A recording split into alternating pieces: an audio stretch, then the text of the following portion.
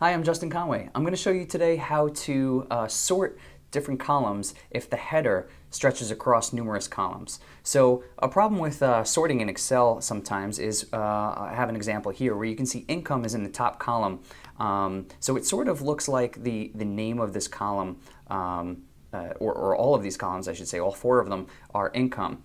Um, and if we go into uh, the sort function, and click on sort by, you can see income is listed here.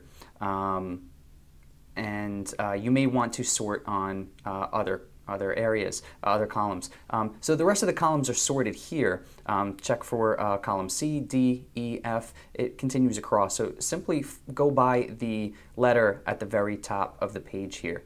Um, another way to troubleshoot this problem is uh, you can add a row to the top. Um, this will be a blank row that you can then select and instead of uh, using income as your header, you now have this blank row to use as your header. Excuse me. So you can uh, go into sort, and now it won't pull that header into your uh, your sorting choices. You'll actually have all of the column numbers listed all the way. And then once you're done with your sort, let's say we're going to sort on income, which is in column C, um, and click OK. Okay, and then now that we're done with our sort, we can always just delete that row that we created.